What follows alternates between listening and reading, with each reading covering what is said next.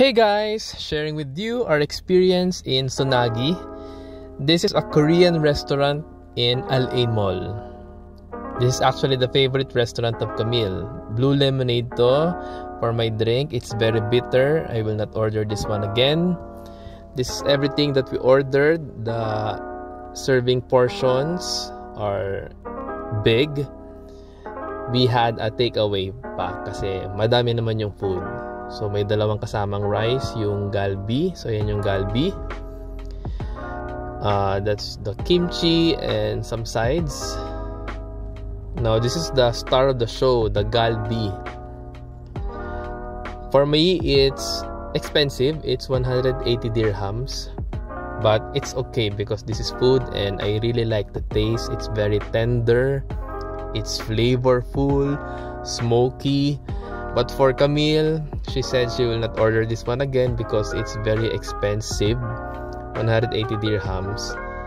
And for her, she's not satisfied. But for me, it's fine. This is food, so I will order this one again if I have the chance.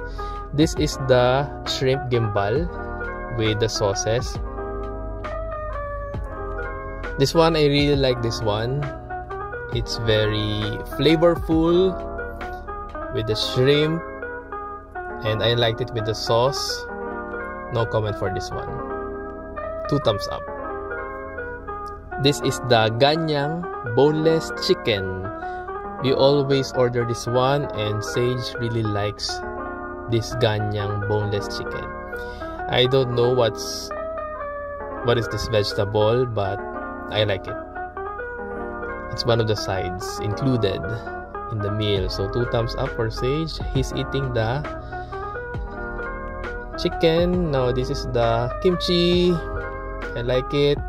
Not too strong. This is the japchae.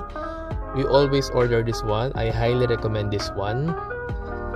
The only thing with this japchae is really hard to take a bite because of the consistency. Now this is the again the chef gimbap another bite. Really really good. Highly recommended as well. One of the sides can you name this one? I don't know what's that but it's kind of sour but i like it. Sage i mean gavin is playing peekaboo.